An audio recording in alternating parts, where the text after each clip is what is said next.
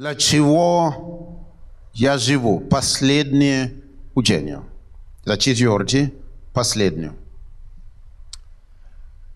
Это важно для меня, потому что это причина, по которой я покаялся, когда передо мной пришел вопрос от Духа Святого, для чего ты живешь. Удивительно, как Дух Святой знает, как провоцировать тебя в правильное направление мышления. Вот поэтому, если я встречаю человека, наполнен Духом Святым, который, мне кажется, не так себя ведет или не туда идет, я не переживаю слишком. Переживаю за те, которые не наполнены Духом. За те я переживаю, потому что... Но за те, которые не наполнены Духом, не переживаю. Почему? Знаю по опыту. Он умеет направить мысли как надо. Откуда я знаю? Мои мысли направил как много.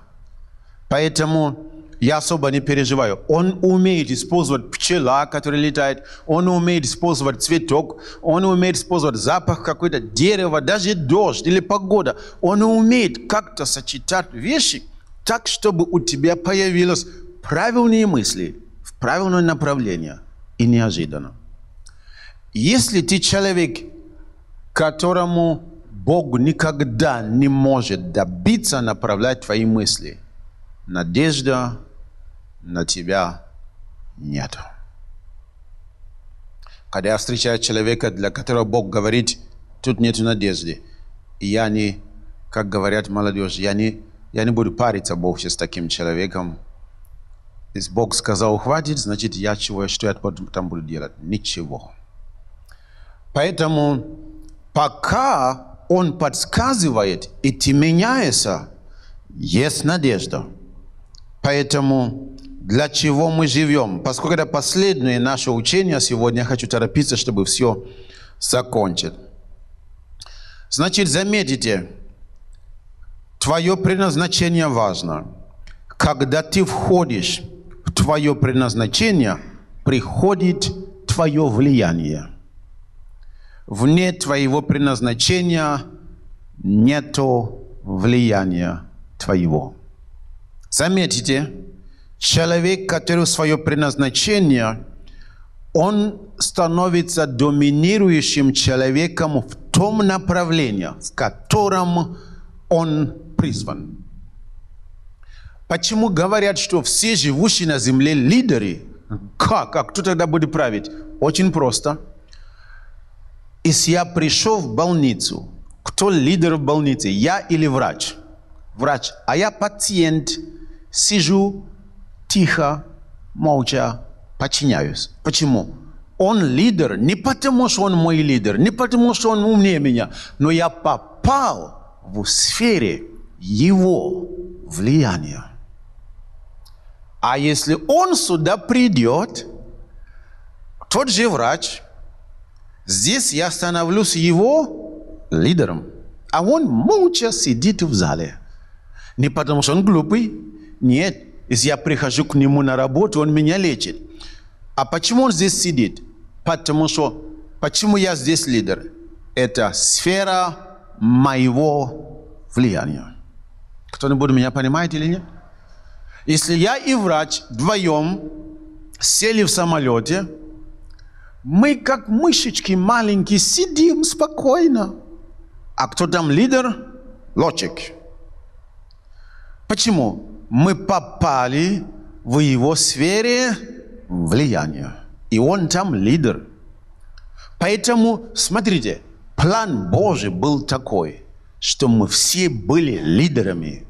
Но это не имеется в виду господство над другими людьми, а чтобы каждый в сфере своего влияния, он там лидер. Я вас не слышу. Пастор Генри, да, у меня вопрос. Ну ладно, сестра, скажите, я слушаю. Кто глава в доме? Ну, муж. Хорошо. А на кухне кто глава? А, хитрый вопрос. Получается, когда муж попадает в сфере влияния жены на кухне, он молча сидит и ждет еду. Почему? Это не сфера его влияния. Но глава семьи он. Но на кухне он пациент, который подчиняет. Заметите, что когда ты находишь свое предназначение, вот это то, что Бог сказал в бытие, что владычествуйте, оно начинает исполняться, когда ты нашел свое предназначение. Кто-нибудь меня понимает здесь? Поэтому найти свое предназначение важно, потому что все планы Божии исполнятся, когда ты в своем предназначении. Все, что Бог ожидал, все, что у Него есть, оно приходит к тебе. Не когда ты там, где люди тебя ждут. Не там, где одноклассники ждут. Не там, где однокурсники ждут. А там, где Бог определил. Это все я повторяю, то, что мы уже прошли. Но судя по тому, как вы быстро забываете, я напоминаю ключевые моменты. Так, твой дар – это Божий механизм исполнения твоего предназначения. Заметите, твой дар, если ты игнорируешь твоих даров и талантов, то жизнь будет тебя игнорировать. Потому что твой дар – это то, в чем люди нуждаются, не в тебе как таково. Вы здесь собраны не за меня. Но вы скажете, за вас, пастор Генри. Да, нет. Да, да, конечно, потому что да. Нет, потому что нет. Потому что вы собраны здесь не за меня, а из-за дара, который на мне. Вот этот дар способность взять Слово Божие, излагать четко, понятно и вроде бы не глупо, и ясно для всех, и с откровением, ради этого вы и пришли. Кто-нибудь меня слышит? Так, от чего я должен к вам прийти с трепетом? Не за ваш прическу. М-м, за вашу прическу пусть ваш муж придет, пусть ваш собачка и котик. А я из-за дар Божий, который на вас. Я вас не слышу. Одна из главных задач любого пастора – это искать, где Божьи дары, таланты, которые Бог прислал в церковь. Когда я их нахожу, меня не прическа интересует, не серьги, которые... Нет. И, и не... Меня интересует, что вложил Бог в этом человеке. Когда я нахожу, моя ответственность, чтобы этот дар, этот талант не был похоронен, кроме если сам человек говорит, не трогайте меня, хочу похоронить, тогда я не трогаю. И то я буду провоцировать время от времени через мои проповеди. Заметите, если игнорируешь твои идеи, которые от Бога, я не, я не сомневаюсь, что Бог дает людям много идей. Много идей, не идеев, а идей. Много идей, и они не обращают внимания, игнорируют.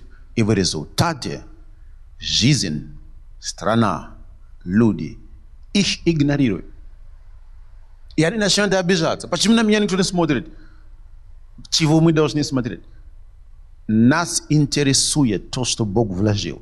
А если ты его спаковал, спрятал, вот, и жизнь начнет тебя игнорировать. Заметьте, это же принцип зарабатывания деньги, да, вот такое. Если у тебя есть дар, проявляй его на решение вопросов, тем больше вопросов решаешь, тем больше готовы расстаться с деньгами дать тебе. Удивительно, сколько у людей деньги, когда они находят человека, который решает их вопросы. А когда человек не решает вопросы, они зачем? Поэтому, если бы я был политиком, которым я не являюсь, я бы решал много вопросов, удивительно, когда люди видят, что страна двигается, они готовы налоги платить, налоги, много чего готовы. Если они видят очевидно, как все двигается. Когда они не видят, надо их заставить, надо их бить, нужно их и тому подобное. Заметьте, что это важно. Сегодня я хочу еще один момент по поводу того, как обнаружить свое предназначение. Важный момент. Есть такое слово аппетит. Кто-нибудь слышал такое слово? Ощущал его когда-либо? А как вы это ощущали аппетит? Вы какие-то интереснее. Сейчас вы мне расскажете, слушая внимательно, как вы ощутили аппетит. Я не сказал голод, я сказал аппетит. А вы сказали, да, мы ощутили. Как? Не надо мне про голода, про аппетит. И все сразу помолчали. Ладно. Смотрите, мы говорим приятного аппетита.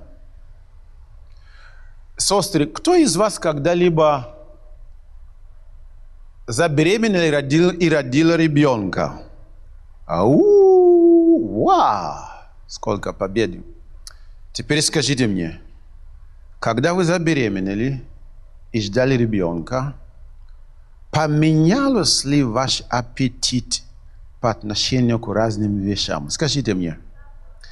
Иногда вы кушали такие странные вещи, что сейчас, когда смотрите, вы в шоке от самого себя. А вы знаете, почему поменялся ваш аппетит? Вы были кем-то беременны. Когда он родился или она родилась, все, вы обратно в борщ, обратно в сало, обратно докторская колбаса снова стала царствовать. Но во время беременности у вас аппетит поменялся. То есть беременность заставила вам иметь тяга к вещам, которые раньше вы не имели. Это я специально этот пример придумал, вернее не придумал, но само пришел. Я удивляюсь, как Бог меня любит. Он мне такие примеры дает визуальные, которые я думаю, о, спасибо, Господь, я бы...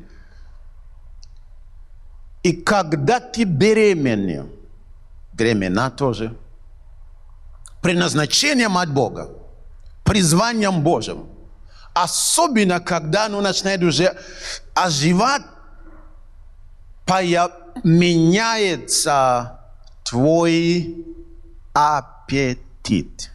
К чему тебя тянет, меняется.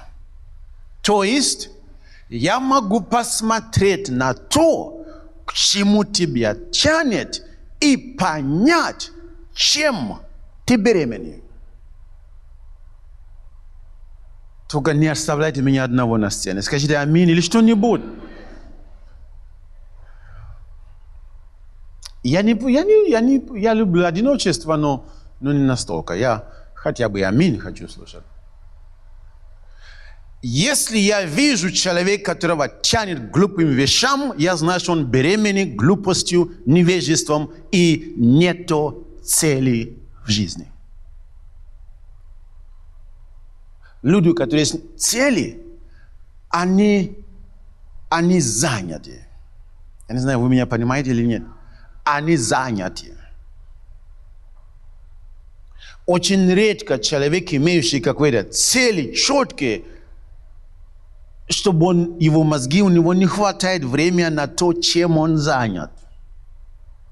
А человек, который внутри пусто, ничего, вода, воздух, понимаете, пустота, в никуда. Его тянет к глупым вещам, к пустым вещам. То есть, если я увижу что тебя тянет. Я знаю много людей, которые как будто делают важные дела, но смотришь в жизни, его тянет не те. И я знаю, не горит оно в него. То, что он делает, не горит. Потому что то, как к, нему, к чему его или ее тянет, не свидетельствует о том, что беременный. Он просто делает, потому что надо, чтобы люди не сказали, но его нету внутри. В принципе, если бы я сейчас закончил проповедь, вы уже получили немало откровений.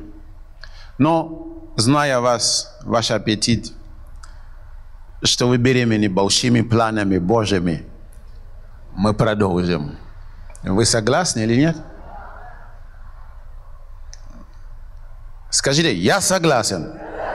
Скажи, остановиться, подумать и что? Творить добро. Но вы скажете, пастор Генри, мы уже это слышали. Вы еще не слышали. Я, вы еще устанете от этого. Я буду это повторить и повторить, повторить, пока вам не будет сниться. И пока вы не начнете творить добро даже во сне. Поэтому смотрите, господин Неемия, он сидит, говорится, книга Неемия, читаем, первая глава, пер, первые четыре стиха. Слова Неемия, сына Ахалила, Ахалина, в месяце Кислевы, боже мой, российский этот э, журналист. И в двадцатом году я находился в Сузах, престольном городе. Вот где он находится. О чем он думает? Когда пришел Ханани, один из братьев моих, он и несколько человек из Иудеи, когда я звоню людям, да, в Зимбабве, откуда я, первый вопрос это не как страна, как народ, потому что, понимаете, оно меня так, я иногда спрашиваю, а как тот, а как тот, один, два, три, четыре, пять родственники, после никого. А этот, он говорит, я и спросил я их об уцелевших иудеях. Его интересует, тянет, как у них дела. А эти говорят, а, которые остались от плена и об Иерусалиме. Вот две вещи, которые его тянет. Это он беременный. И аппетит его хочет знать, как дело с иудеями, которые не пошли в плен, а какое состояние Иерусалима, что там происходит, как ворота, как стена. Наверное, они в шоке, с чего она его интересует? И он, они ему говорят, а оставшиеся, которые остались от плена, находятся там в стране своей, в великом бедствии и в уничижении. И стена Иерусалима разрушена, и ворота его сожжены огнем. Они ему доложили. А он находится в Сузах. Он при царе. Он устроен, он крутой. Понимаете, все его знают. Ему нечего терять. Он уже достиг. Но достиг и предназначение не всегда одно и то же. Если ты успешен в чем-то, но где-то внутри продолжает тебя тянуть куда-то. Это означает, что твое предназначение ждет, она не тронута. И вот смотрите, она, ему говорят, и когда он услышал эти слова, он сказал, я сел, заплакал, печален был, несколько дней, постился, молился пред Богом, почему он беременный оно в нем живо. Это его детище. Поэтому он, его аппетит. До этого мы не слышали, что Неемия молился за царя, Неемия молился, чтобы никогда не отравили царя, Неемия молился, чтобы Вавилон был сохранен.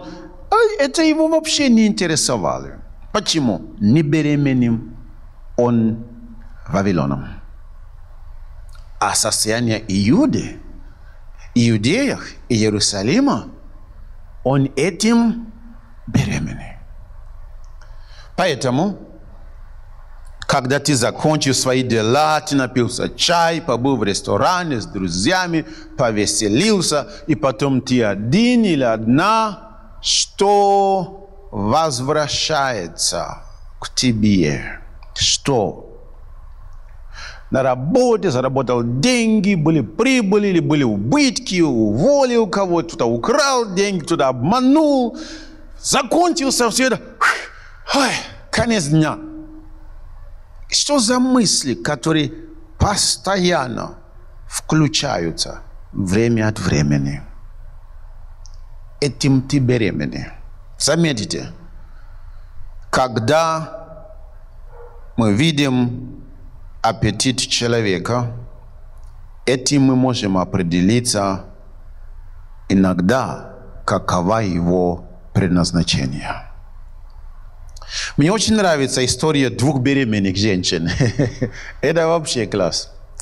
Вот, от Луки 1 глава, 39 по 41. Встав же Мария в одни сии и поспешно пошла в Нагорную страну, в город Иудин. И вошла, она беременная, и вошла в дом Захарии и приветствовала Елисавету. И когда Елисавета услышала приветствие Марии, взыграла младенец в чреве ее, и Елисавета исполнилась Духа Святого.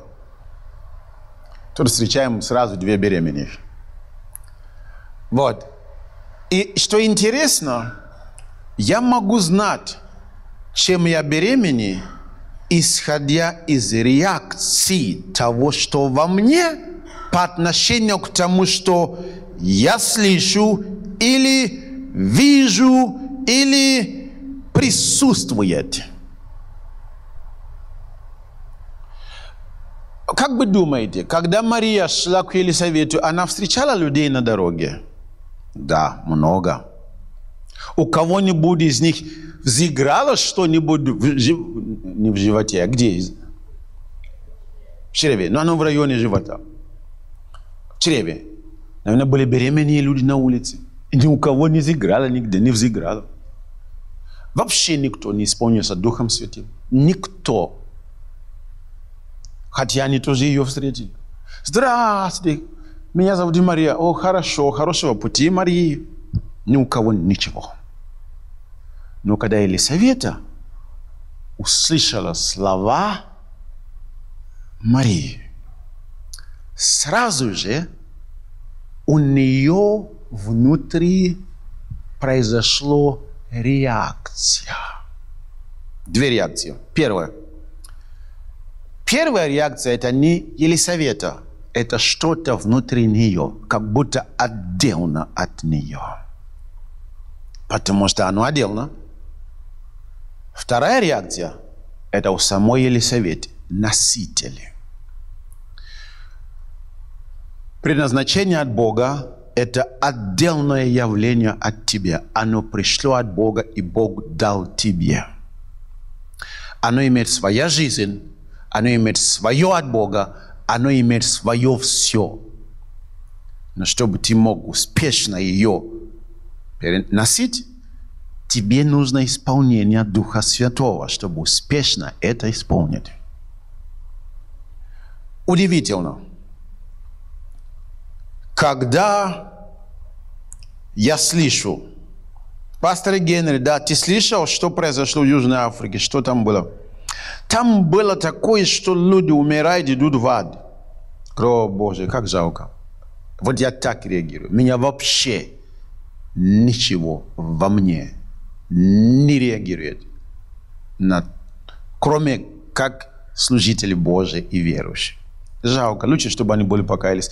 Дайте, пожалуйста, а, что я заказываю обычно. Свежий сок арбузный, который я так люблю, его мало мне дают. Вот, дайте мне арбузный сок.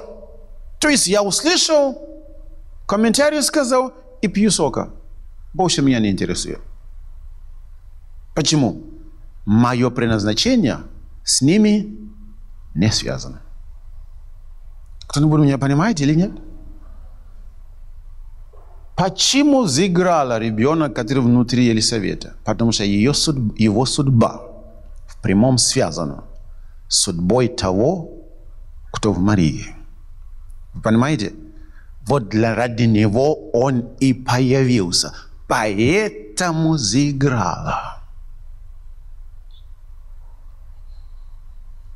А, следующий пример, оно горячее, но я его скажу, надо. А,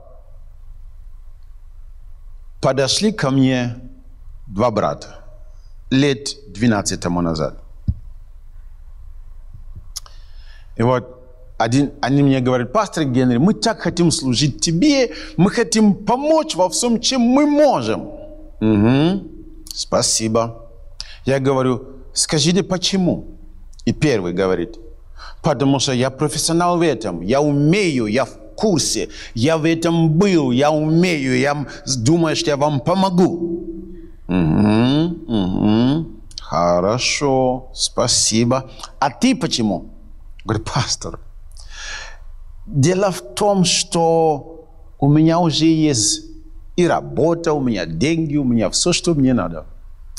Но почему-то каждый раз, когда я слышу вас со сцены, или вы говорите что-то, как будто оно в какой-то степени со мной связано, а я не знаю как.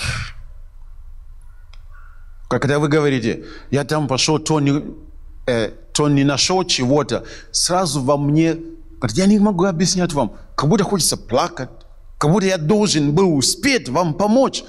Говорит, как прямо во мне это, как будто я, я иду домой, потом ночью не могу спать. Я думаю, ну надо... Я не знаю, как это объяснять. Как вы думаете, из этих двоих, кому из них я дал разрешение быть рядом со мной? Вы можете подсказывать? Втором. Это он не фантазировал. Он не, не сидел вычислять. Это было Богом вложено внутри. А я как пастор со всеми планами, которые у меня на земле есть, я знаю, что это одно из вещей, что сделает Бог с теми людьми, кто приходит в церковь. А мне нужно их находить. Это стратегические люди для меня, для моего служения. Без таких людей мое служение не состоится. Поэтому Иоанн Креститель родился, его судьба была связана с Господом Иисуса Христа – никогда не торопись проходить мимо ситуации, слова, то, что видишь, присутствие чего-то, кого-то, который трогает тебя внутри. Не торопись. Не обижайся настолько, чтобы уйти не, не позволяй ничему настолько тебе помешать, чтобы отвернуться. Иоанн Креститель, иначе ты теряешь смысл жизни на земле.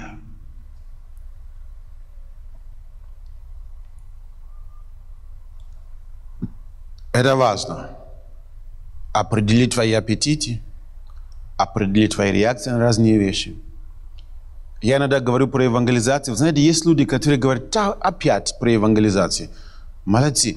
А есть люди, которые, когда я слышу, слышат слово евангелизация, сразу слезы. Это мое, это мое. Почему? Это их призвание. В них это горит.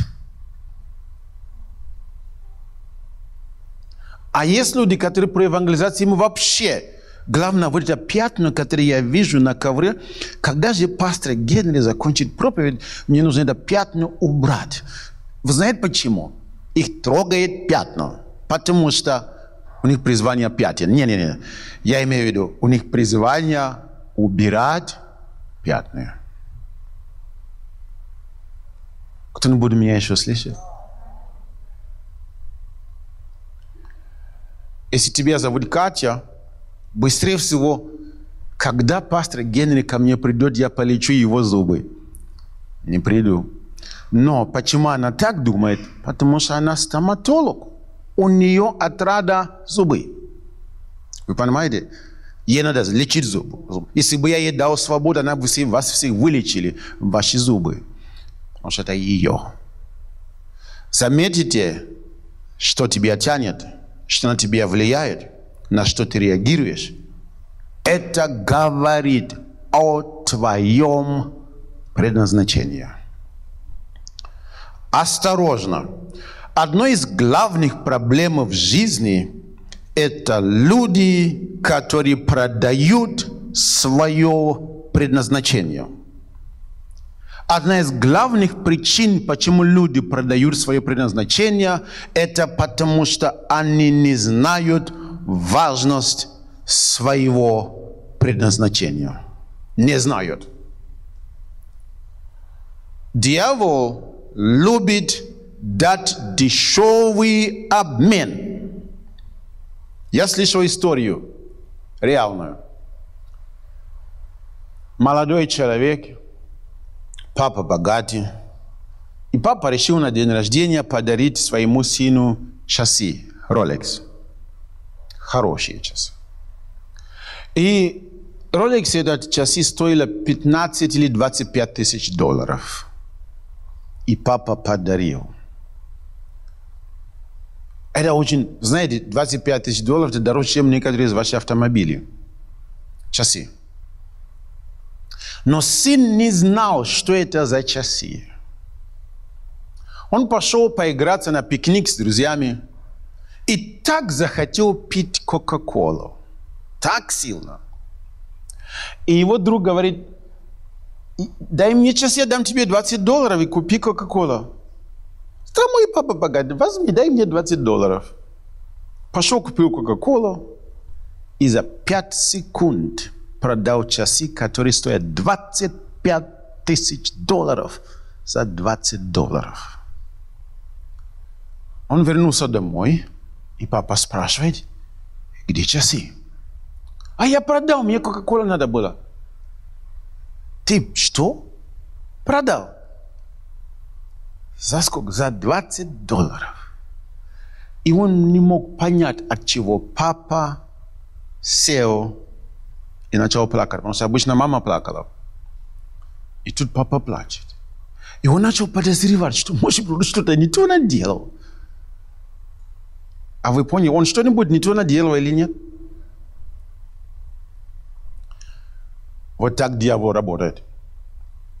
Дьявол приходит и предлагает тебе 20 долларов в обмен на что-то, что стоит миллион. Но его преимущество лежит в том, что ты не знаешь, значение того, что у тебя есть. Так, я сегодня так планировал радовать вас. Я вообще думал, так, я буду так проповедовать, что вся церковь будет на ушах, на, вернее, не знаю, на ушах что это значит. Что такое на ушах? На, в восторге, да? Значит, я правильно думал. А у меня выходит все наоборот. Раз уже вышли серьезно, тогда доделают до конца. Хорошо? Вы разрешите, да? Ну, даже если вы не разрешили бы. Это то, что произошло однажды в Бытие, 25 глава, с 28 стиха по 34. Исаак имеет два сына, Исав и Яков – из них преимущественно родился Исав. У него первородство означает, наследует в два раза больше из всего богатства Исаака. Б. Мессия через него. Короче, В. Историю Иса Иакова должно было исчезать. Если вы заметили в Библии, всегда пишет историю главного или старшего, или тот, через кого идет Мессия. История Исава мы не в курсе. Кроме того, что мы знаем, что вышли каких-то цари какие-то через него, но его история умерла. Почему? Так, вот Исав, я хочу, чтобы вы знали, кто он такой. Исаак любил Иас, Исава, потому что дичь его была по вкусу его. Этот человек повар первого класса. Вы понимаете? Это важно запомнить.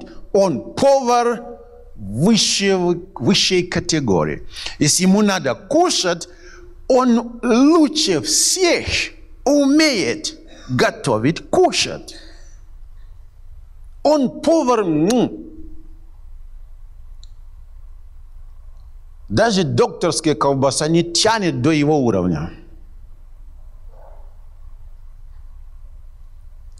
То есть Это человек, который вопрос еды у него решено. Так, и он пришел домой. Дальше говорится 29 стих. И сварил этот не повар, это, вы знаете как, китайский вермишель. И сварил Иаков кушанье. И знаете, как там написано, дичь его был вкусный. То есть конкретное блюдо. А это просто кушанье. Это все бросал соль туда, помидоры, короче. Он все бросил туда. И Исав пришел с поля усталый. Заметите, на что сыграл дьявол? Его усталость. И сказал Исав Яков, дай мне поесть красного, красного этого, тот кушание, который сделал. Этот не повар, он вообще не повар. Но он просто бросил все и вышло красное.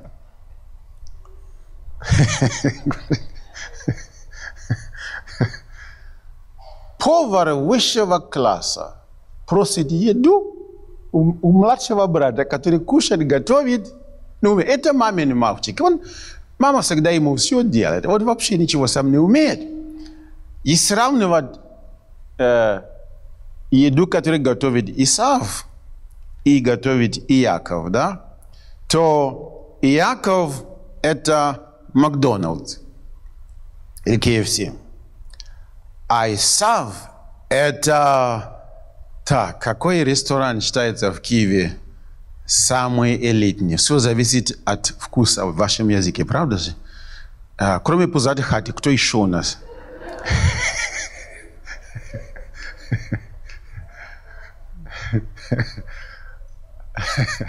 Вот получается, что... И он пришел. Я пытаюсь вам нарисовать картину, чтобы вы поняли ситуацию. Хорошо? Я не умею рисовать людей, но я могу словами. Это мой дар. У меня все, что я рассказываю, у меня четко в голове нарисовано. Но я его рисую перед вами моими словами. Если бы я был Аня э, Елисаветская, да, есть такая у нас в церкви, я бы не говорила, я бы не говорил, я бы сидел и нарисовал Исав, Иса, Иаков и красное кушание, и дичь, которую он умеет, я бы все нарисовал. Но поскольку я не Аня Елисаветская, я Генри Мадава, я все говорю. Так. Ибо я устал от всего данной, от, ибо я устал от всего данного ему призвания едом. Ну, потому что он просил красное. Но Яков сказал, какой брат? Бизнесмен. Он не умеет так просто. Иногда вы не представляете, что наше поведение в детстве показывает о том, кто мы. Я слышал истории всех крупных бизнесменов мира. Они мне рассказывали. Вы знаете, есть такой господин Брэнсон. Брэнсон, он англичанин. Он в авиакомпании, Virgin называется. У него есть космическая компания. У него много чего. Вы знаете, как он начал свою авиакомпанию? Он был в Америке, летел на самолет, American Air, и отменили рейс. И он стоит в аэропорту со всеми людьми. Они негодуют, качают руками. И он подумал, побежал и спросил у руководителя аэропорта. Сказал, могу ли я арендовать у вас самолет? Сказал, ну, конечно. И он взял самолет в аренду, вернулся на стойку, где все качают крики. И он говорит, если вы хотите, я только что арендовал самолет. Давайте мы все сядем по 50 чем-то долларов, дайте мне и полетим. И они полетели. И он понял, можно, он начал арендовать самолет, сейчас у него свой самолет. И я понял, что они, они всегда что-то делали где-то. Вот Уоррен Баффет или кто-то там из них, я помню, они что-то там продавали где-то. Сколько ребята продавали вещи в школе. Их за это били учителя. Но они не понимали, учителя, что у него есть вот это от Бога вложено внутри него. Родители били. Мы тебя отправили в школу учиться, а ты продаешь мороженое. Они не понимали, что потом он станет большой торговец. И Яков сказал, продай мне твое первородство. Мы можем сказать, плохой брат. Ну да, но с другой стороны, в жизни не надо все раздавать, не Дед Мороз. Понимаете? Иногда мы раздаем, просто раздаем. Хочешь кушать? Да, возьми. Даже у кого была лучшая продукция? У Иакова или у Исава? У кого была брендов, брендовая еда? У Исава. Но кто продал дорого дешевую штуку? Я, понимаете, люди, иногда вы унижаете свои способности. А, все, пастор Генри, больше в церкви служить не буду. Я, я ничего не буду делать, кроме... А я вам даю эту информацию бесплатно. Так что в обмен служите в церкви. Ну ладно, хорошо. Поймал вас заранее. Значит, смотрите.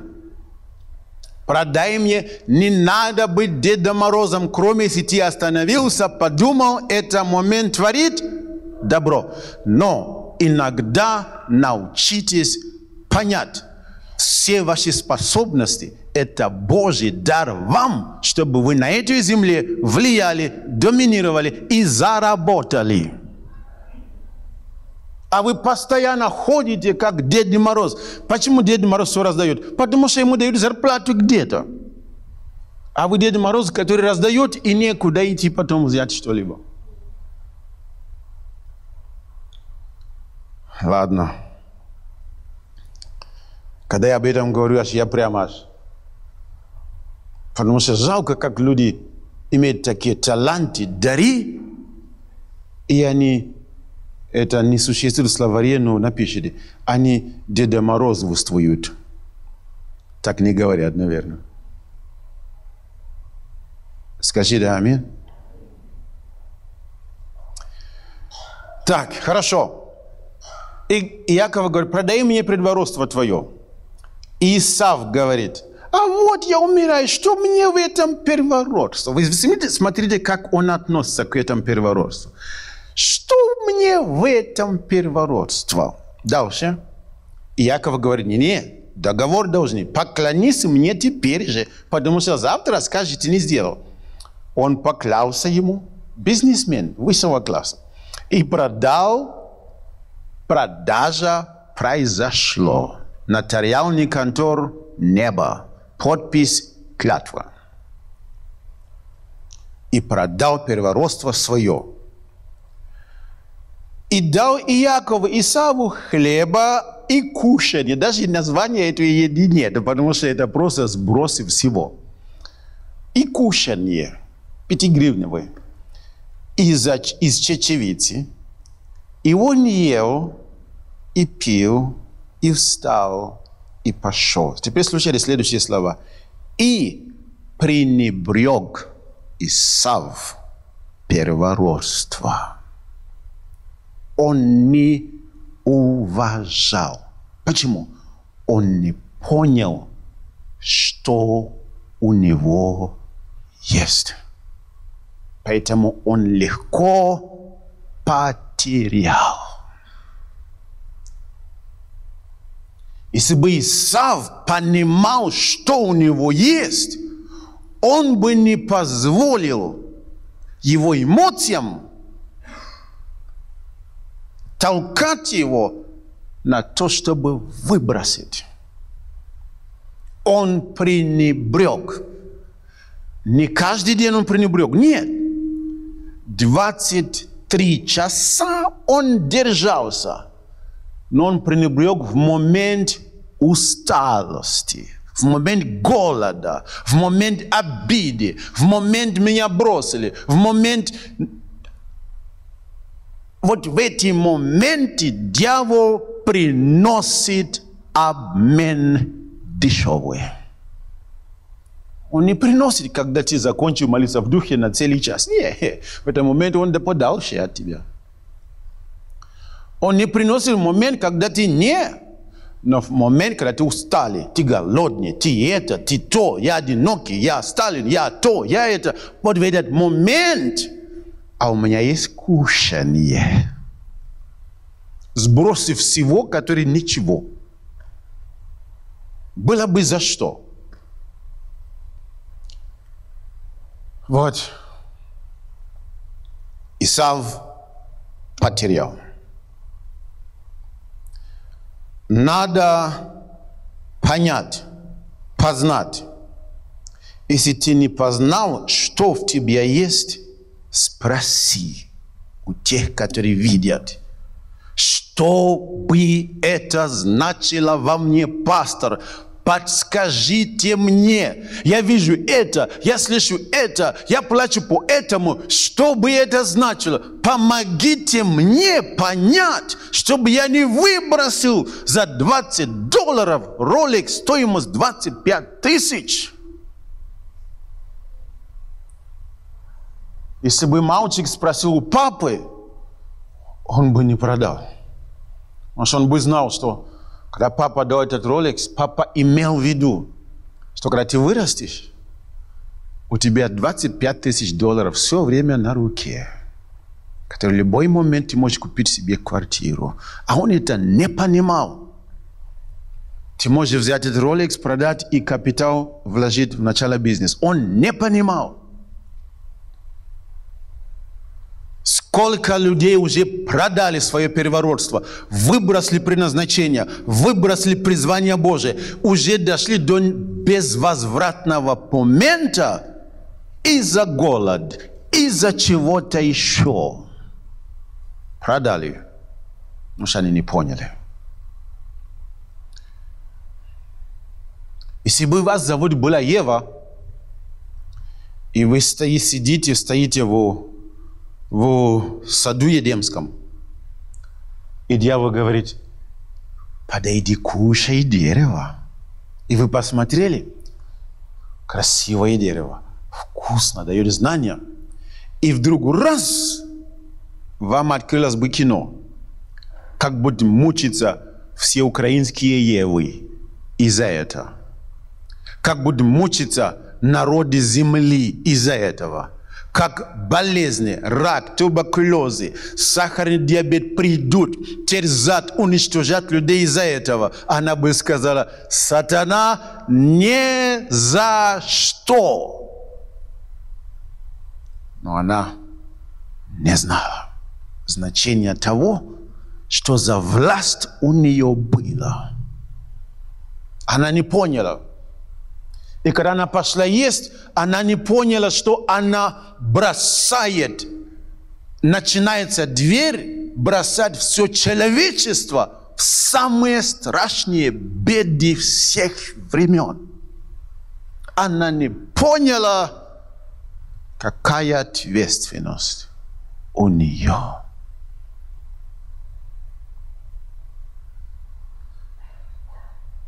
Ой-ой-ой. Вы сами меня провоцировали, потому что вы серьезный, я решил быть похожим на вас.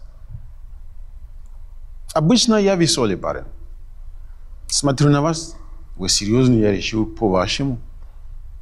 Да, как говорят, барин, не, не барин, кто заказывает музыку, барин или кто музыку заказывает? А барин что делает? А хозяин барин. А кто такой барин, между прочим? Но не важно. Хозяин барин. Ага, то есть у барина много права, наверное, да? Да. А я хочу быть ба, ба кем быть? Ай-яй-яй.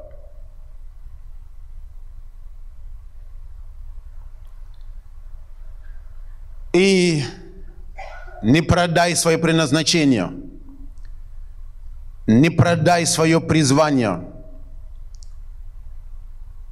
Поэтому Господь Иисус, когда был в саду, когда был в пустыне, к нему пришел сатана. И 40 дней дьявол работал над тем, чтобы он продал. За что? Первый, за хлеб. Вот камни поменяй. Но поклоняйся, это секунда дела, я дам тебе все. И впервые сатана столкнулся с личностью, которая настолько понимает, что у него есть, что он не продает его. Сорок дней не ел. Сорок!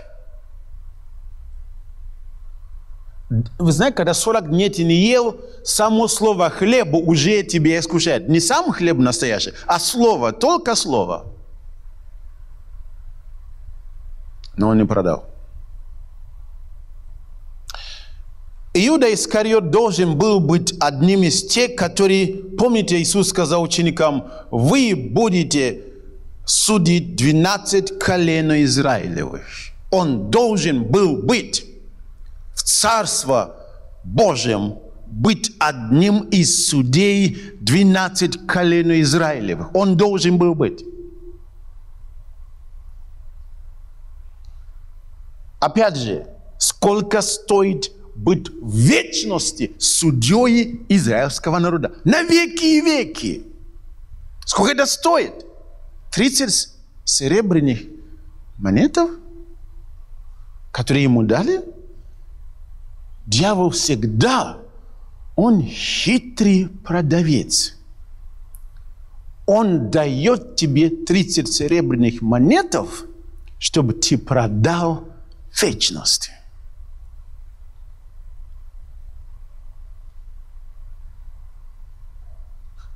Иуда был с Иисусом так долго, что он обнаружил ошибку очень быстро. Когда он понял, что он натворил, он повесился, он не хотел дальше жить. Когда он уловил, что он наделал.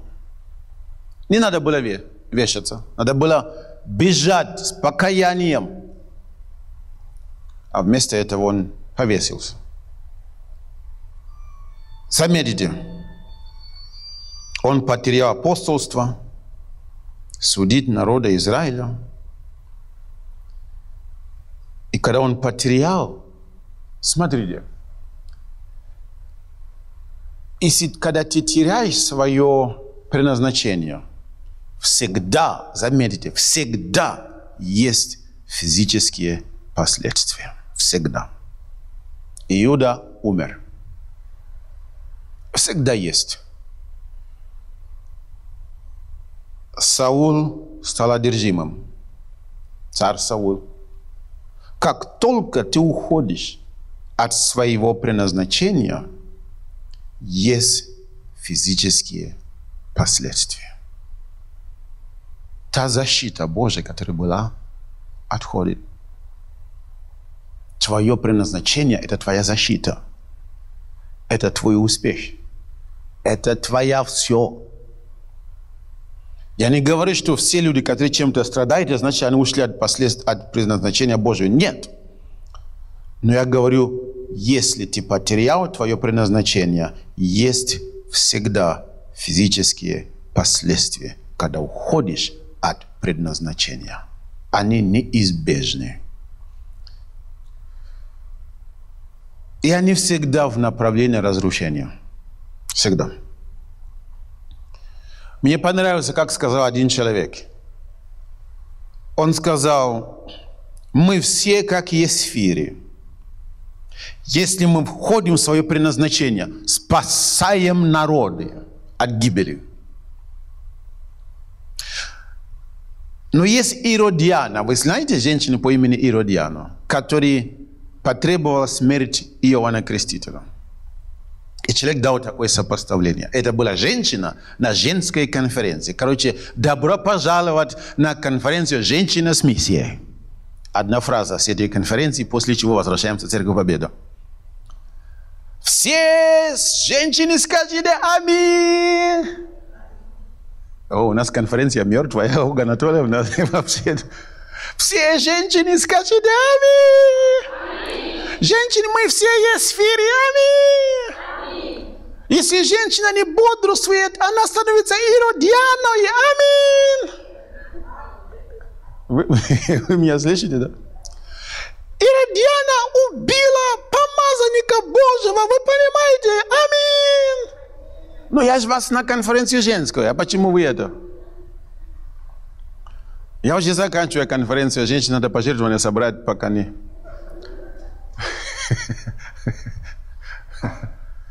Когда есть фири, не сме...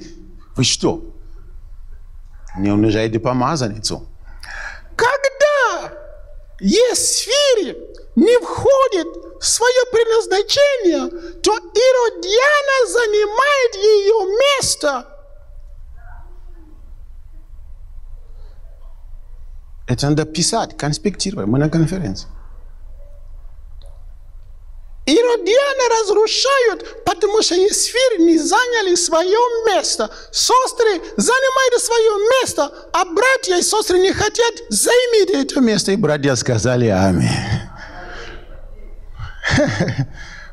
Женская конференция такая тяжелая штучка.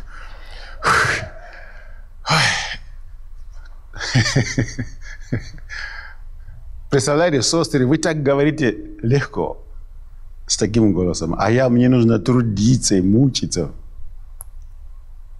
За каждый есфир, который боится входить в свое предназначение, поднимается Иродиана, который уничтожает помазание помазанников, разрушает дело Божие. Каждый раз, когда убегаем от своего предназначения, мы оставляем вакуум, и туда приходит иродиане который потребует голову.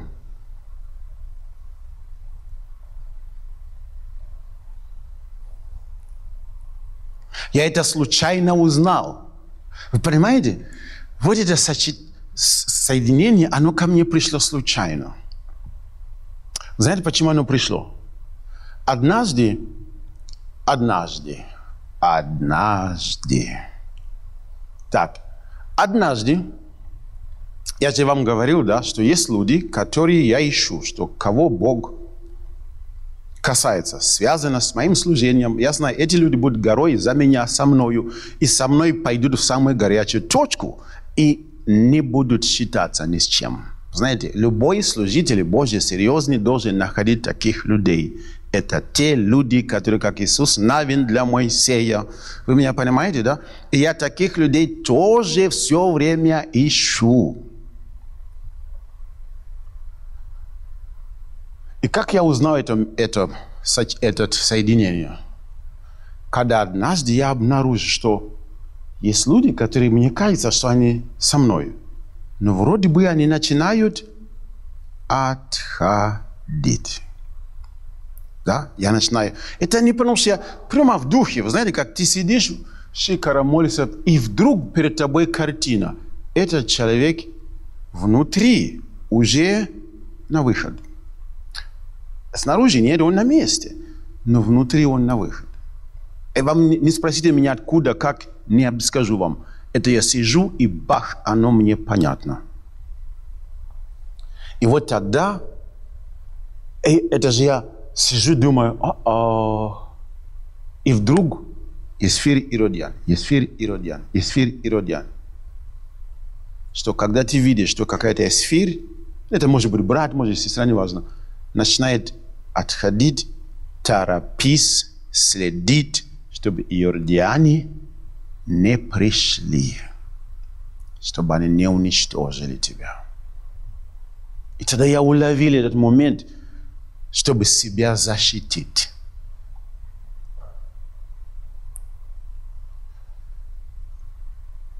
Заметьте, не откажись никогда от своего предназначения. Есть последствия негативные, и оно открывает двери для иродиан. иродиан. Матфея 5 глава 13 по 16 Библия говорит так. Евангелие от Матфея, 5 глава 13 по 16. Вы соль земли. Если же соль потеряет силу, то чем сделаешь ее соленой? Она уже ни к чему не годна. Как разве выбросить ее вон на попрание людям? Когда человек мне жалуется, что пастор, люди топчут надо мною, они перестали меня уважать, я говорю, стоп, стоп. Не всегда они топтали. А почему вдруг начали топтать? Причина – соленость твоя потерялась.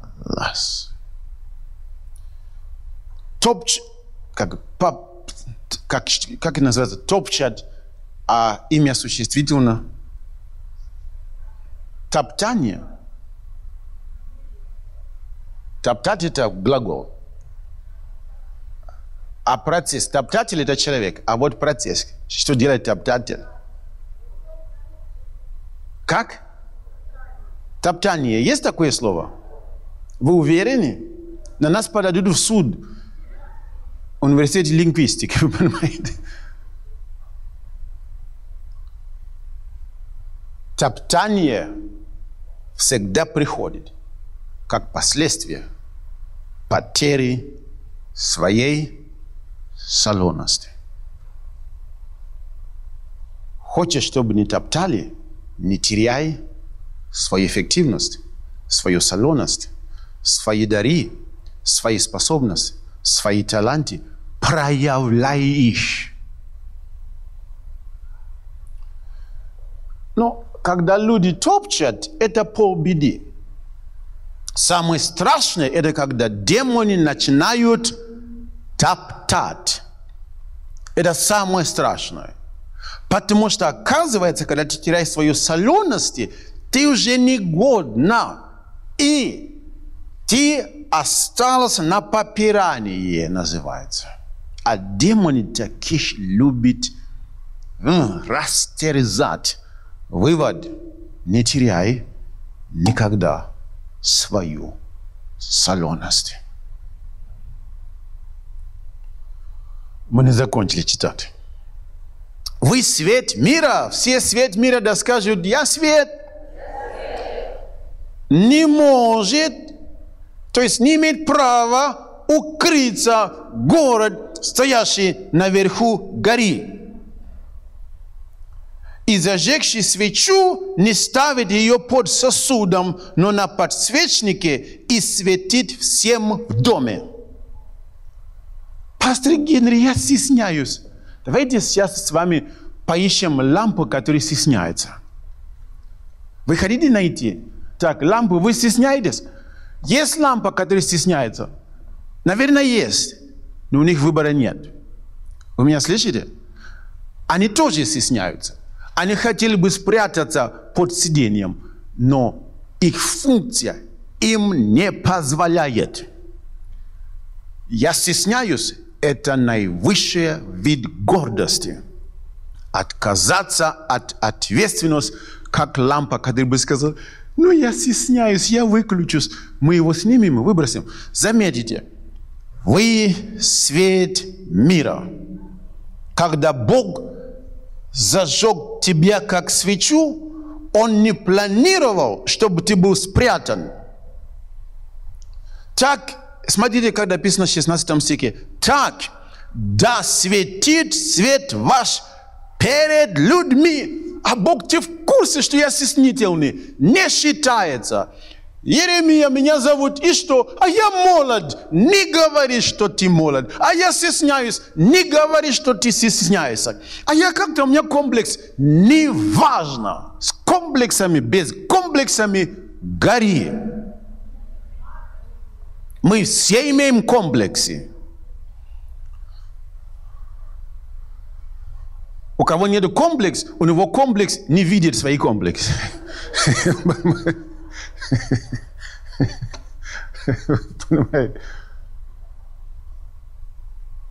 Мы все имеем комплексы. Вы знаете, какое самое приятное место для меня? Это в конце зала. И оставить здесь микрофон или говорить оттуда – если я такое сделаю, ангел придет и скажет, эй, господин, вы пастор церкви, у вас слово от Господа, что вы здесь делаете? Ну, я стесняюсь, ну, поймите меня, у меня акцент.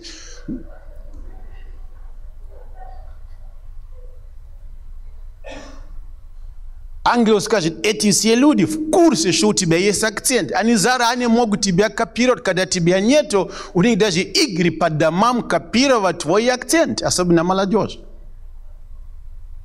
Когда они между собой говорят, они пытаются дразнить друг друга моим акцентом. Ангел об этом знает, Бог об этом знает. Говорит, но это не считается, это не, не аргумент. С акцентом без акцента, иди на сцену, говори. Скажите, говори. Я вас не слышу. Ну, ну, у меня же, понимаете, я, я все буквы выговариваю. Я могу сказать большой. Вы заметили, когда я говорю большой, я всегда большой акцент на это делаю. Это я компенсирую за все остальные мягкие «л», которые у меня сколько лет никак не получается у меня с этим мягкий «л». В украинской мове есть мягкий «л» или нет? Ужас. А я, я собирался туда перейти, убегать. Этот. Оказывается, там тоже есть. Ай, надо найти такой язык, где мягкий «л» нет. А вы заметили, что хотя у меня с мягкий «л» проблема, вы все время здесь. Хотя я стесняюсь, я все время здесь. Хотя мне страшно ваши лица, я все время здесь. Хотя эти лампы стеснятся, я их знаю. Они очень стеснительные лампы. Когда вас здесь нет, вы не представляете, они выключаются сразу. Но они говорят дальше, они горят. Мы не закончили читать, ребята. Да светит свет ваш перед людьми. Имеется в виду, проявляй твое предназначение, твои дары, твои таланты, твои способности. Проявляй перед людьми. Хватит перед лягушками. Лягушки не спасаются. Перед людьми. Зачем? Чтобы они видели. О, я так не хочу, чтобы видели. Как раз Бог хочет, чтобы видели. Нечего прятаться.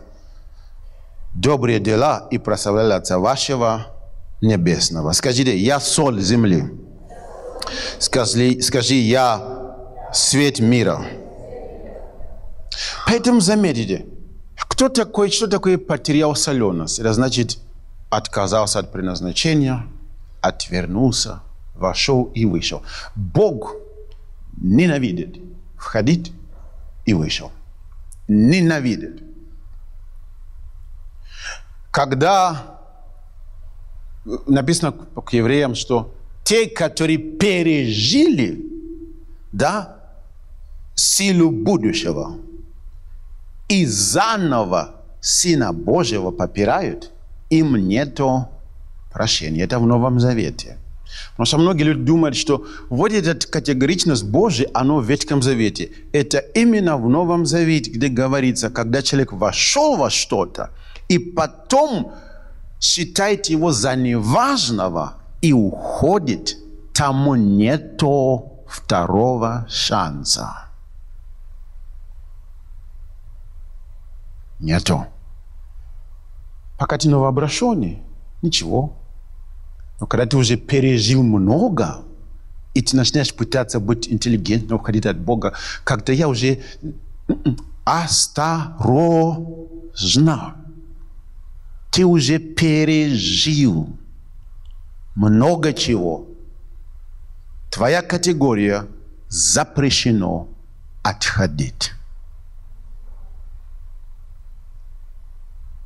Запрещено. Отходить без последствий не получится. Если бы я сегодня принял решение отходить от веры, от Бога, от всего, я не проживу месяц. В моей категории – запрещено отходить. Я слишком много Бога пережил. Вы иногда видите меня здесь на сцену, видите пиджака, видите блеск моей головы красивой.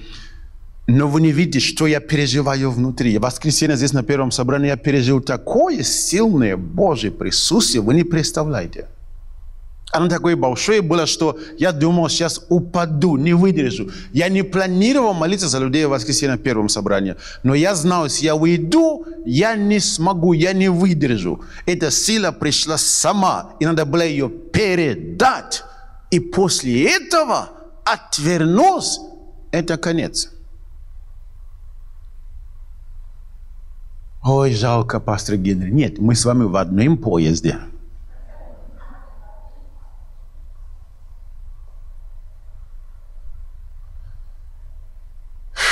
Вы сами провоцировали меня на, на серьезности. Майя, ты меня заставил быть серьезным. Поэтому вот, серьезным. Скажи да аминь. Заметьте, не прячь свои, свой свет, не прячь свое призвание, не прячь предназначение, не прячь дари, таланты, смысле жизни. Не прячь. Пастор Генри, да, я понял. А что тогда делать, если вдруг есть провал? Если выход после провала, как-никак мы в Новом Завете. Ай, у вас такие вопросы. Ну ладно. Да, есть выход. Скажите, да, есть решение.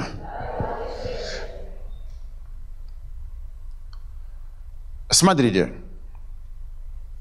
Бог никогда не проваливается. Имеется в виду, его плане, предназначение его, окончательный задумка в любом случае исполнится. В любом случае. Может быть, не через тебя, может быть, не в твое время, но исполнится. Кто не будет меня слышать? Скажи, исполнится. Скажи, в любом случае, исполнится.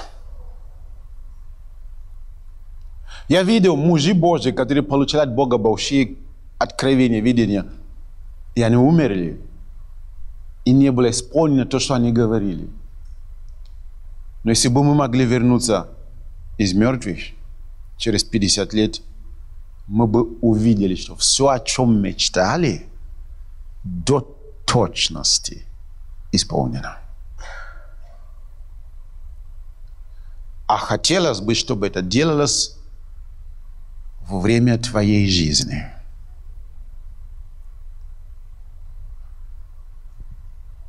Исход 12 глава, удивительная такая э, глава в Библии, 30 стих по 33.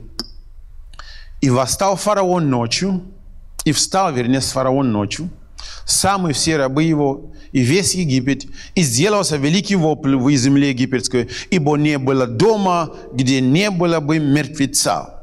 И что они сделали? Они призвал фараон Моисея и Аарона ночью и сказал, встаньте, выйдите среди народа моего, как вы, так и сыны ваши, пойдите. Дальше говорится 32 стих. Он говорит, возьмите все ваши мелкие, крупный скот, возьмите, уходите. Это значит, фараон сломан. Вначале он клялся. Вы никогда. Смотрите, что произошло. Бог способен переломать любого. Лучше добровольно, нежели принудительно. Когда ты хочешь, чтобы Бог тебя не переломал, сам иди. Это я съел здесь слона, который был. Простите меня. Это легче, чем когда потом Бог принудительным образом фараон обошелся бы без жертвы больших, если бы он вовремя понял, с чем он имеет дело, и сказал Моисей, я признаюсь, уходите. А он упорствовал, как-то он пытался как-то, и в результате стоило ему очень много. Египтяне считают, что он умер именно здесь. Когда он следовал за Израилем, что он не остался на горе, египтяне считают, что он вместе с солдатами вошел в море и утонул со всеми солдатами. Из-за упорства своего. Торопись, не жди, пока Бог переломает – иди раньше. Короче, понуждали египтяне народ, чтобы скорее выслать его из земли той, ибо говорили они, мы все помрем. И вот, они вышли из Египта. Это было так победоносно, это было так мощно, это была такая победа. Выходим из Египта. Они спели песню в море, они идут в обетованную землю, они шагают, аллилуйя, с нами Бог, мы победители. И Бог доволен на небо. Мы сделали, ангелы, молодцы. Моя цель, предназначение, земля, которую я обещал Аврааму, наконец они идут. И они шагают. Мариам там с тимбанами, она поет. Числа 13 глава, 27 стих. И пошли, и пришли к Моисею и Аарону, и ко всему обществу сынов Израилевых, это главари, главные, в пустину Фарань, в Кадес, и принесли им всему обществу ответ, и показали им плоды земли. И рассказывали ему и говорили, мы ходили в землю, в которой ты посылал нас. В ней подлинно течет молоко и мед. И вот плоды ее. Значит, Бог не врал. Но народ, живущий на земле той, силен, и города укрепленные, весьма большие. Сынов Янакова мы видели там. А Малик живет на южной части земли, хотя все Амари живут на горе, Хананей же живут при море и на берегу Иордана. Но Халев успокаивал народ перед Моисеем, говоря, пойдем, завладеем ею, потому что мы можем одолеть ее. Он уже понял, к чему они идут в разговоре. Он пытается остановить этот момент. А они дальше. А те, которые ходили с ним, говорили, не можем мы идти против народа сего, ибо он сильнее нас. Кто сильнее, этот народ или фараон? Скажите мне. Фараон сильнее в разы. А Бог его смирил? Да. А в чем дело? Что за жалоба? От чего вдруг вы стали умничать, а вы же видели, как Бог усмирял фараона. А этот народ хуже, слабее, гораздо. Если дьявол может, как Павел сказал, начали в духе и закончить в плоти, он уничтожит тебя за мелочи, которые раньше для тебя были не вопрос.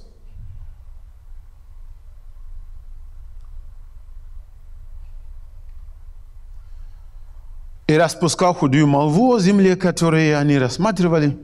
Когда дьявол хочет уничтожить любые люди, он не приходит к простым людям. Простые люди, они как птенчики. Что делают? Лишь бы кто-нибудь. Сатана находит влиятельные люди в любой церкви, влиятельные. В них поднимает недовольствие. И эти люди идут к птенчикам. Что делать? Церковь плохая. Да? О, хорошо, я ухожу. Куда? В наркотики. Но, но польза какая? Еле-еле вытащили человека, не умер. И вот этот люди, которые как эти десять, распространяют худую молву, и люди как будто поумнели, но все погибли. Все до единого, кто слышал их, умерли, и никто не вошел в землю. Перед тем, как ты идешь обрабатывать людей в церкви, запомни ответственность. Когда они уходят, чаще всего возвращаются в старую жизнь. И ты победитель вытащили из церкви. Они умрут без Бога. За это придется отвечать.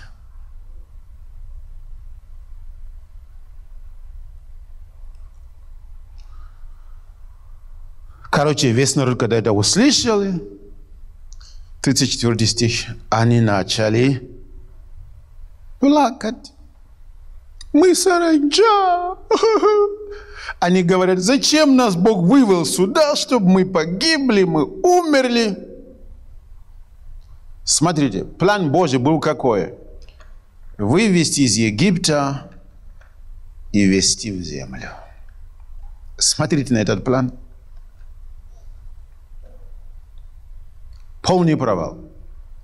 Получается, те люди, на которые он надеялся, что они это сделают, ведь план Божий не с ними связан как таково, а с Авраамом.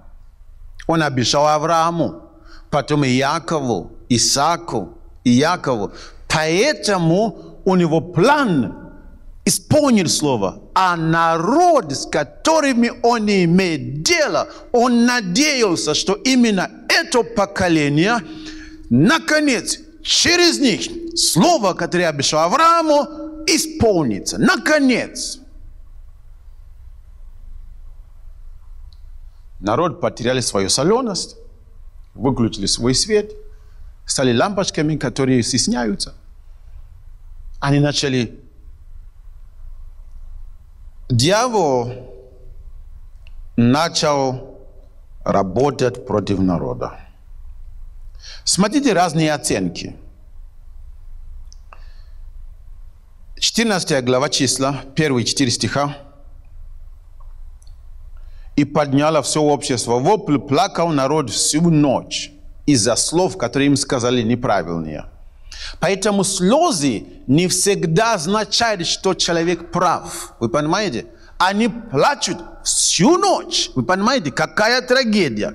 Идет по пустыне вопли, слезы, потому что миллион или сколько там человек плачут все вместе. Это какой грохот слезы. Но при этом не правы. Ой, у нас наш пастор Генри такой сложный, да. Хоть плачь, он не реагирует. Но вы меня простите, миллион человек плакали, они в ничему, ни к чему плакали. Поэтому слезы ни о чем вообще не говорит, кроме о том, что ты расстроен. Но ты можешь быть расстроен неправильно. А не расстроены, вообще ни за что расстроиться. Вы понимаете? Они плачут, но не за что.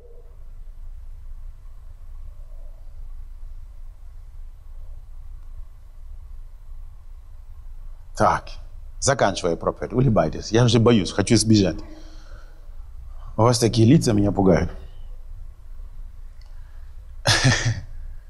И роптали на Моисея и Аарона, все сыны Израилев, и все общество сказали им, если бы мы умерли в земле египетской, умерли бы в пустыне, или умерли бы в пустыне, если они не понимают то, что они говорят, им так и постигнут. Так читаем дальше. Для чего Господь вывел нас в землю сию, чтобы мы пали от меча. Жены наши, дети наши достанутся в добычу. Не лучше ли нам возвратиться в Египет? Помните, что возврат, как только возврат, ты теряешь свою соленость, ты теряешь свою, свой свет. И как только это делается, идет попирание. Вы понимаете? Слушали их слова? Бог нас избавил, мы вышли, лучше нам назад. А с того момента право им жить дальше успешно выключено. И Бог приходит к нему и говорит. Но заметьте, как они оценили призыв Божий пойти в землю обетованную. Ропот на Моисея. Потому что они Бога не видят, они кричат на Моисея, которого они видят. Но на самом деле обида-то не на Моисея как такового, а на Бога. Поэтому Халев говорит, 6 стих по 9, 14 глава числа, он говорит, Иисус, сын Навин, и Халев, сын Иефонин, из осматривавших землю, раздодрали одежду свою. Они считают это дело как трагедия большая. Две оценки. Вы заметили две оценки? Одна оценка очень стрепетно относится к обещанию Божьему, а вторая группа оценивает за пустота. Они разодрали одежду свою и сказали всему обществу, сынов Израилевых, земля, которую мы находили, очень хорошая. И, 8 стих, Господь милостив к нам будет, Он ведет нас в эту землю. 9 стих, только пожалуйста, против Бога не восставайте. Они восстают, они ропщут на Моисея, на Аарона, не понимая, что они восстают против Бога.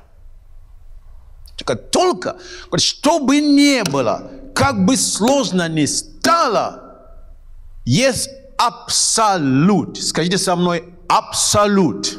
Еще раз. Что такое абсолют? Только не раздражай Господа Бога. Да мне плохо, да я очень плакать, да как-то, только не делай ничего в этом состоянии, чтобы раздражать Господа Бога. Только плохо тебе мы понимаем, сложно тебе мы понимаем. Только есть один абсолют. Плачь, рыдай, как Иов, но ничего не делай и не говори, что может раздра... чем раздражать и огорчать Господа Бога. Поэтому Халев Иисус Навин говорит, ребята, ваши жалобы мы понимаем, мы понимаем, только, пожалуйста, не переходите линию. Потому что если перейдете линию, опасно. Правда же неудивительно, что только эти двое попали в землю. Только эти двое. Оценка Иисуса Навина и Халева правильная. Позиция Бога для них номер один. Они не включились в логику обстоятельств, они остались логикой Господа Бога. И они не пугались.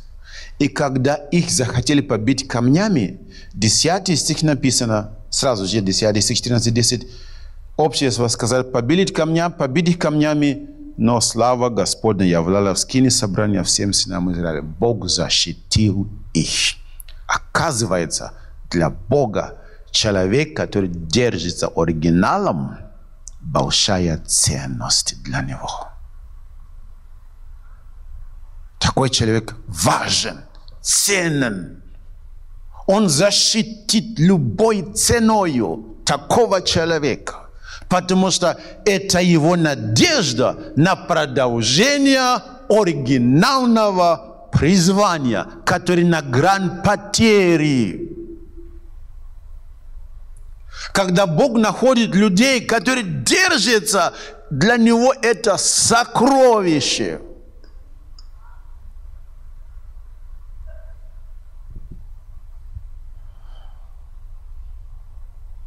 19 стих по 31, ну, 19 по 25. Бог говорит Моисею, да, отойди в сторону. А что ты хочешь делать? Я сейчас язву отпущу, допущу и убью всех. Бог принял решение. Они потеряли соленость, они уже не свет, который горит, они отошли от предназначения, права жить не имеют. Они же кричали на Моисея, да, роптали на него. И Моисей говорит, нет, Господи, пожалуйста. Я не знаю, сделал ли правильно Моисей или неправильно. Бог хотел в срок исполнить свое, свой план. Он решил убить их всех – и оставить детей. И Моисей, Иисус Навин и Халев вошли бы завтра в землю, а эти умерли. Вы меня понимаете, да? А Моисей сказал, нет, Господи. Египтяне услышат и скажут, ага, Бог клялся вести в землю, а он не смог. И что скажут народы? И Бог сказал, хорошо, ты меня прости, просил простить их, простил грехи народу всему по великой милости Твоей, как Ты прощал народ сей от Египта до селе. И Бог говорит, хорошо, прощаю по слову Твоему, прощение я дам, но смерть уже запущена. И он говорит, но жив я, и славы Господне наполня, наполня вся земля. Не все, которые видели славу мою, знамения мои, сделанные мною в Египте и в пустыне, искушали меня уже десять раз и не слушали голоса моего, они все не увидят земли, которые я клятвой обещал отцам их. Все раздражавшие меня не увидят ее. Но раба моего Халева за то, что в нем был иной дух, и он совершенно повиновался мне, веду в землю, которой он ходил, и семья его наследует ее. 25. А эти все амаликитяне, которые живут там, то завтра обратитесь, идите в пустыню Черном море. И они пошли путем не туда. И 40 лет, 30 стих написано, 14.30.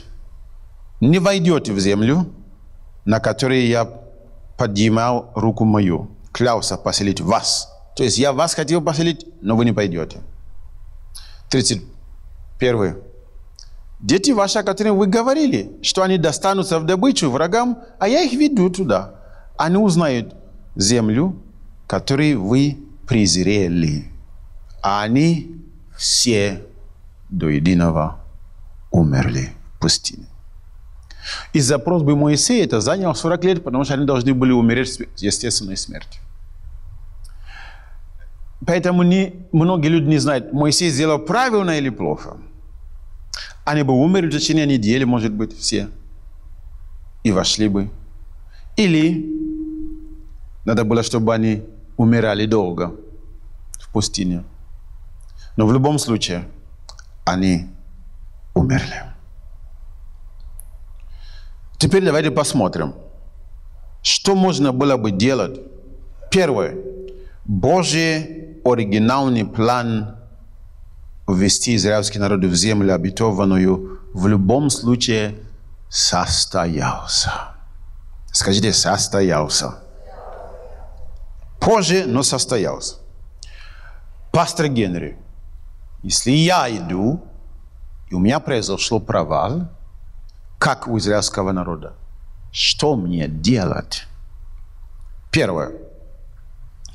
Вернись к оригинальному Божьему плану и вернись к твоему оригинальному состоянию, с которым Бог имел с тобою дело. Вернись. Здравствуйте, господин, здравствуйте. Как вас зовут? Самсон. Что с вами? Бог меня помазал и сказал, чтобы я не стриг волос. И что? Дьявол принес мне 20 долларов за мои 25 тысяч долларовые часы. И я отдал. Теперь я без волос, без силы. Mm-hmm. Ай-яй-яй, Самсон. Ты знаешь, как, Самсон, ты выйдешь? Я подозреваю. Как? Отращу обратно мой волос. Вернусь к оригиналу с Богом. Как я раньше с Ним. Я и попрошу прощения.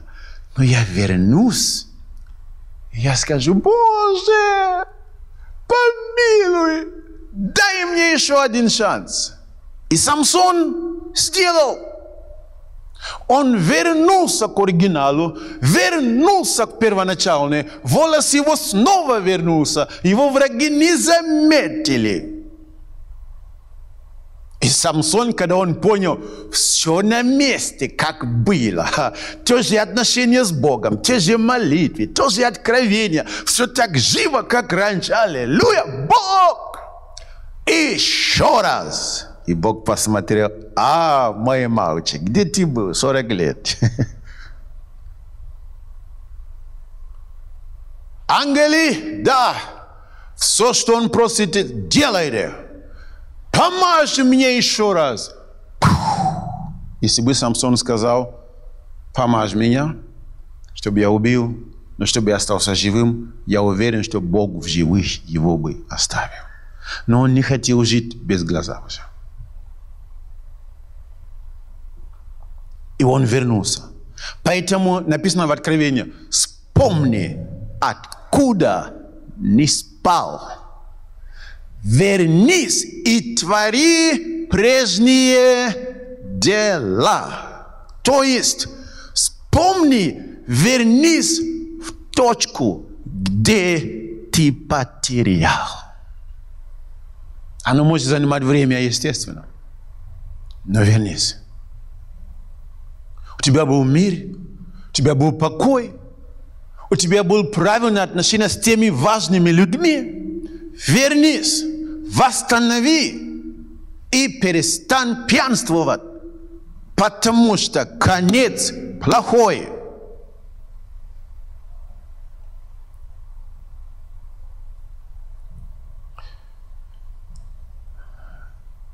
Вернись назад к доверию Богу.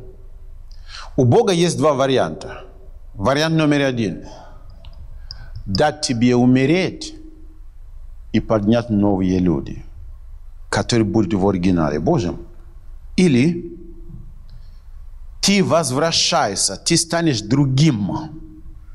Ты становишься другим. Каким? Таким, как Бог хочет. Тогда ему не надо ждать следующее поколение. Он через тебя сделает. Иисус Навин Халев, они держались, и они вошли. Это одно из самых сложных вещей. Учиться вернуться.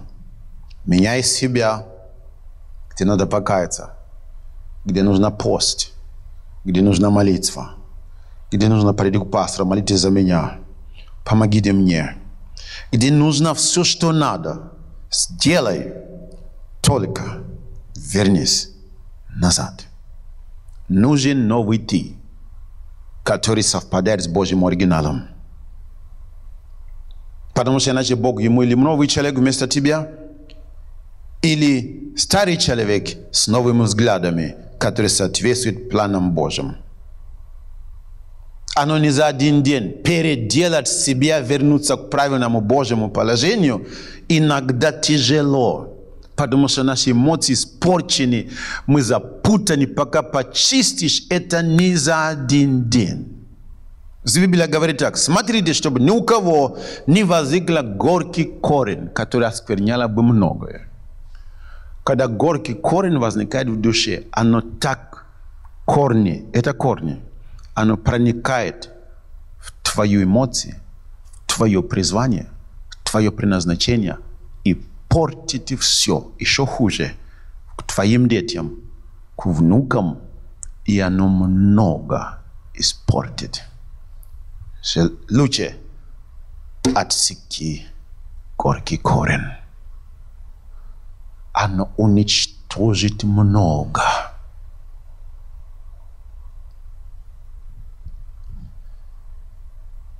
Когда ты очнулся, вернулся к Божьему оригиналу, снова ты в том состоянии, в это время открой глаза и найди, где план Б. Потому что ты в курсе, план А давно его потерял.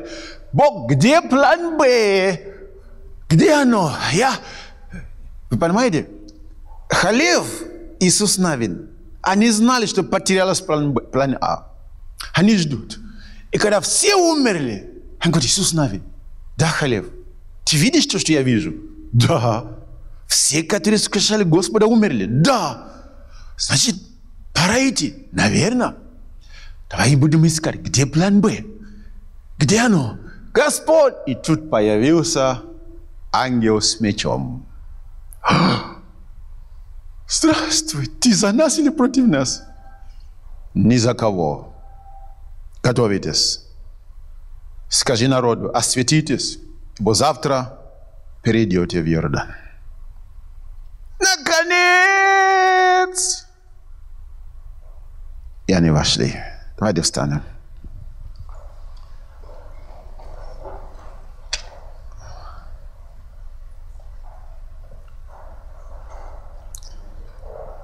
Не продай свое предназначение. Это то, ради чего ты живешь. другой цели нет. Пока ты в свое предназначение, Бог благословит тебя. Он даст тебе купить машины, дома, одежду, еду, курицу, утку. Он разрешит все это. И ты будешь жить отлично. Как только выйти, пастор Генри, там люди же живут в мире вообще. Они не вкусили то, что ты вкусил. Они не пережили то, что ты пережил. У них нет откровения того, что тебе открыто. Поэтому им обойдется. Тебе нет.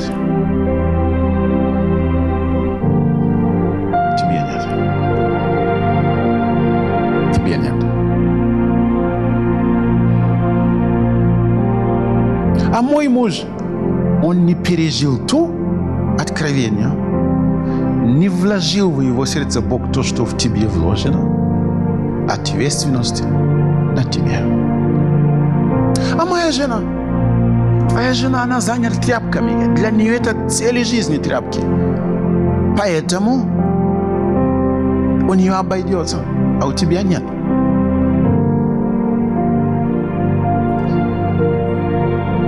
Вернись. Вернись.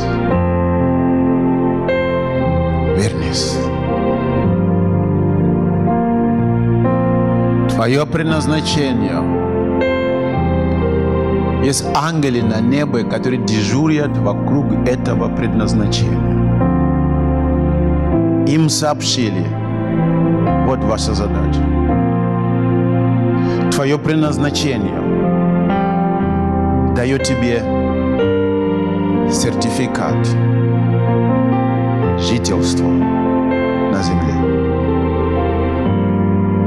Дает тебе право жить и пользоваться тем, что есть на земле. Ты выбрасываешь, то земля перестает дать тебе плод, земля перестанет тебе приносить что-либо, и земля начнет тебя отвергнуть.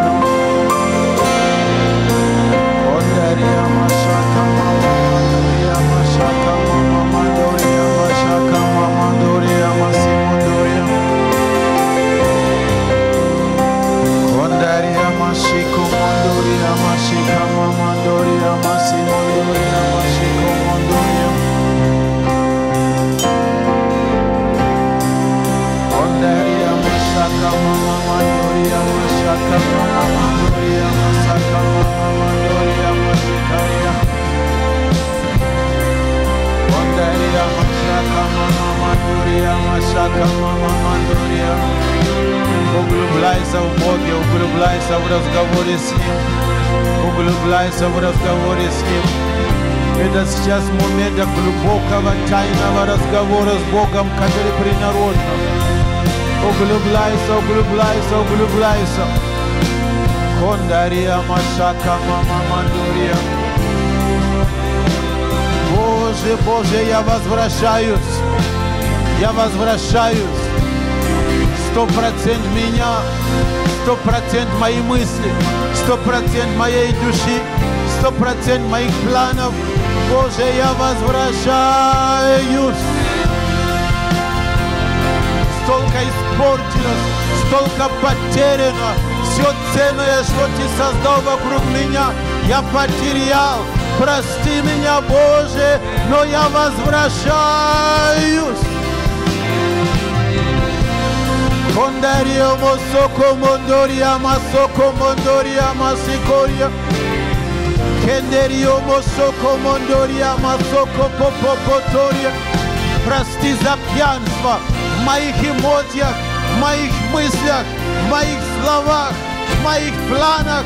Прости, Боже, но я возвращаюсь. Кондария Масоко Мондория Масоко Мондория. Боже, я хочу, чтобы при моей жизни Твое предназначение не через кого-то другого Ты исполнил. Сделай через меня, сделай через меня, сделай через меня. Дай мне еще возможность, дай мне еще шанс во имя Иисуса. Kondaria masaka mandoria masoko mondoria. Kenderio mosoko mondoria masoko mondoria. Kenderia masoko mondoria. Keria masondoria. Może как ребенок, я бегу к моему отцу, я бегу к папе, как я есть, бросаюсь к тебе, ожидаю милость, ожидаю милость твою.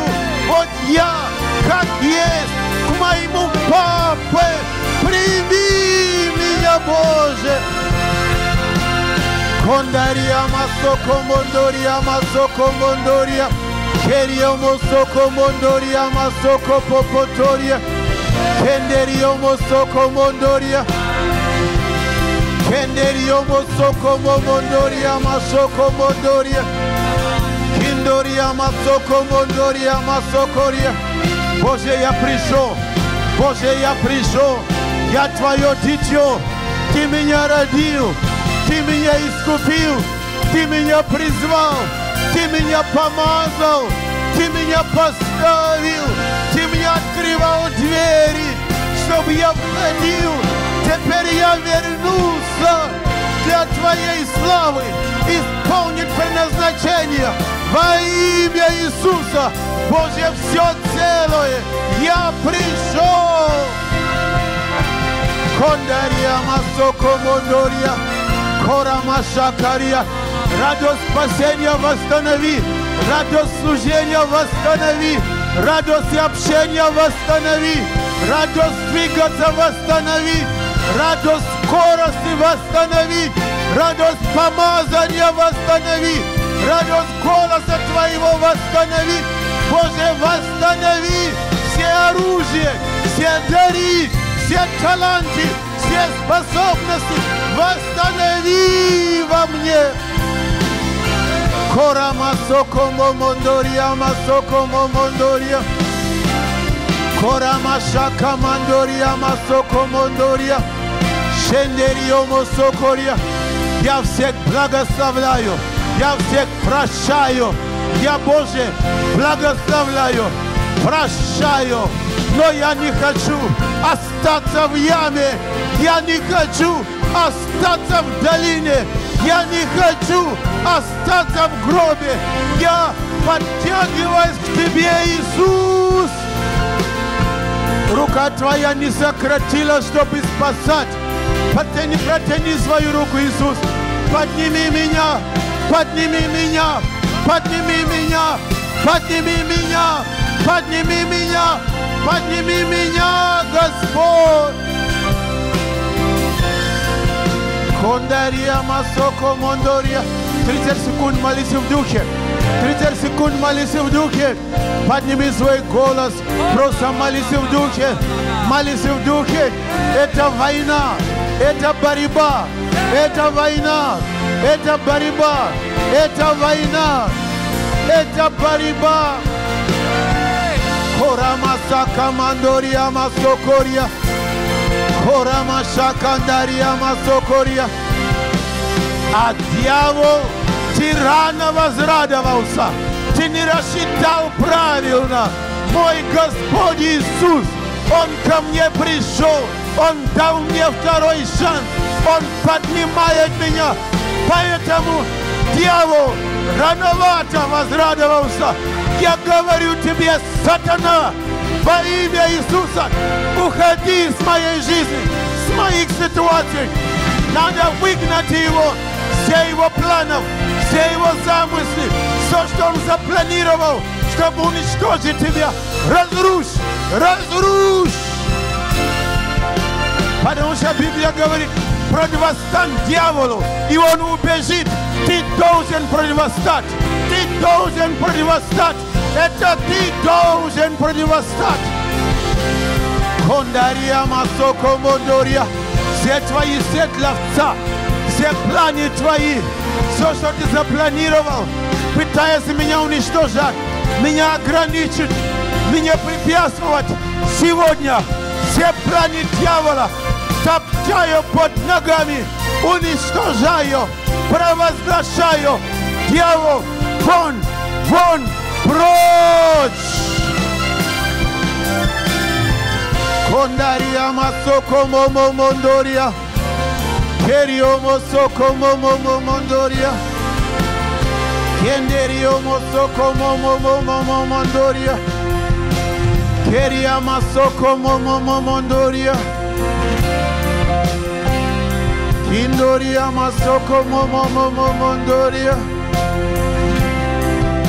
Дух Святой, Ты Дух усыновления, Ты залог от Бога в нас.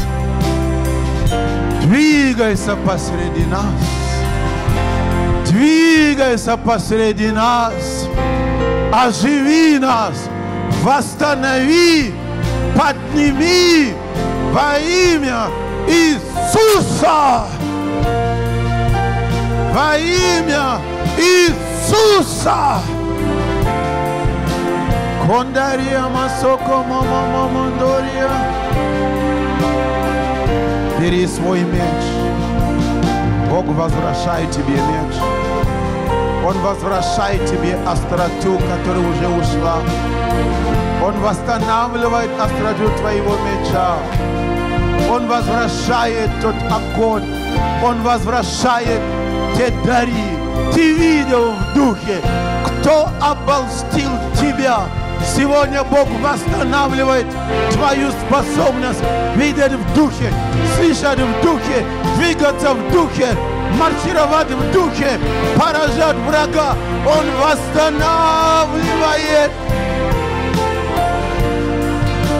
Он дарил мосоко момо момо мондория. Kenderio mosoko momo momondoria. Kenderio mosoko popo popo toria masiko mondorия. Кендерия. Боже, мы вернулись. Я вернулся. Спасибо, Господь. Я снова со своим мечом. Я снова со Твоим словом. Я снова с Твоим призванием. Я снова с Твоим помазанием. Я снова с Твоим поручением. Я снова с тем верением. Я снова с той же скоростью. Я снова с тем же ускорением. Я снова с теми же размахами. Я снова Иисус.